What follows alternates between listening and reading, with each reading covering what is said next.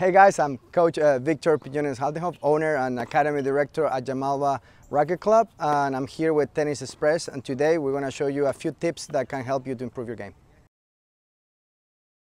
Alright guys, so to improve your backhand, it's very important you understand your left hand. So we're going to do a simple exercise in which you just going to start hitting backhands with just the left hand, but not from down here, Imagine you're hitting a two-handed backhand, but then you just hold the graphic right here with the left hand, and then you just start hitting and alternating exercises. So we're gonna prove it right here.